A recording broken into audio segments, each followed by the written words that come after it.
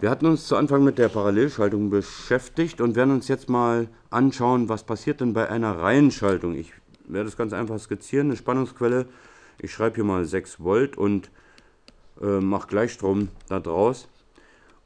Und ohne Schalter, ohne weiteren Schmuck, nehme ich statt, von, äh, statt Widerständen nehme ich drei Lampen. Lampen haben ja, wie wir wissen, auch einen gewissen Widerstand, der ist sogar temperaturabhängig. Ähm, und dieser Widerstand ist so dolle, so groß, dass die Lampen anfangen zu leuchten. Widerstände sind eigentlich nur äh, Wärmeumwandler, also Umwandler der elektrischen Energie in Wärmeenergie.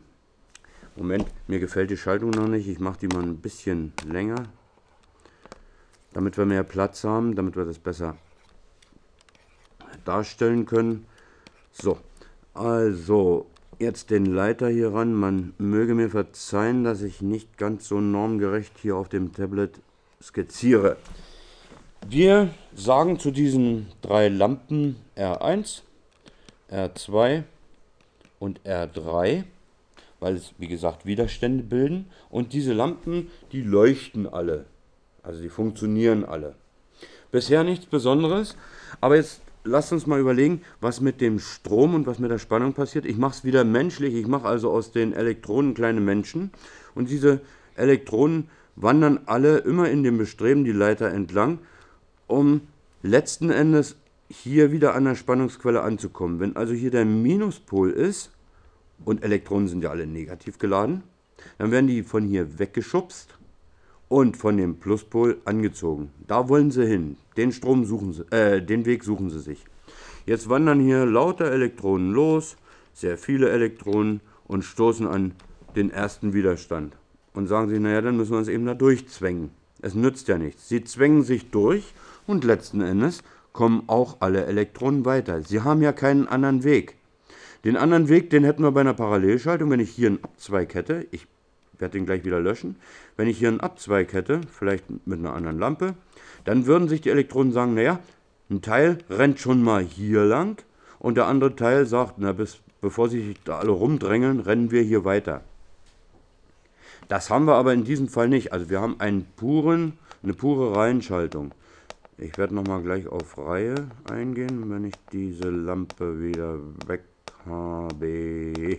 Ja, nochmal in Reihe, das heißt alle, ähm, alle hintereinander. Jetzt kommen alle Elektronen schließlich an der nächsten Lampe an, müssen sich dadurch zwängeln und schaffen das auch bis zur dritten Lampe und haben endlich wieder freie Bahn und alle Elektronen, die alle hier durchgekommen sind, kommen endlich wieder, wirklich alle, die losgerannt sind, kommen alle wieder hier hinten an. Es wird keiner zurückgelassen. Hier rum um die Ecke und so weiter.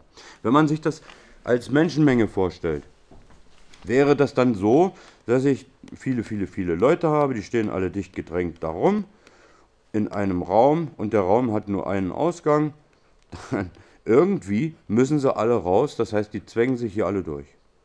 Und wenn hier danach ein Raum kommt, wo sie durch müssen, also hier habe ich einen Korridor, wo sie durch müssen als Zwischenstation und der hat dann auch hier hinten wieder die gleiche schmale Tür, dann werden alle Menschen letzten Endes hier teilweise ankommen, sich hier wieder rumdrängeln und weiterlaufen. Schließlich sind alle leer und alle sind drüben auf der anderen Seite angekommen. Also es ist vollkommen egal. Wir können also sagen, was die Ströme betrifft, wenn ich also, ähm, jetzt weiß ich nicht, ob ich die richtige Farbe nehme, wenn ich also sage, wie groß ist denn I1 und I2, also wenn ich direkt mir hier ein Messgerät, nämlich einen Strommesser reinschalte oder ich schalte den hier rein oder ich schalte den hier rein oder hier danach, wobei ich diesen auch sonst wo postieren kann, den kann ich auch hier mitten in, in die Leiter reinschalten. Was würden dann I1 und I2 und, oh, pardon, und I3 letzten Endes für Werte anzeigen? Immer die gleichen.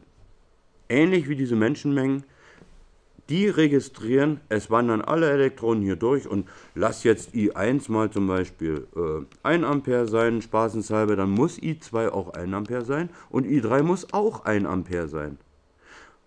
Auch I gesamt muss 1 Ampere sein. Demzufolge können wir dieses, diese ein weiteres Gesetz, ich möchte jetzt noch nicht den Namen für diese Gesetze sagen, weil das äh, würde jetzt Verwirrung stiften, können wir ein weiteres Gesetz in dem Reihenstromkreis so formulieren, I gesamt bei einer Reihenschaltung ist I1 plus I2 plus I3. Ich kann so viele Messinstrumente einbauen, wie ich will. In diesem Fall sind es 3 plus I tralala. Ich verwende jetzt keine anderen Symbole. Tralala meine ich, ich kann so viel wie möglich Messinstrumente einbauen, die zeigen mir alle dieses 1 Ampere an zum Beispiel. Hier in dieser Schaltung. Die Spannung. Die Spannung ist ja ein anderer Ausdruck für Druck.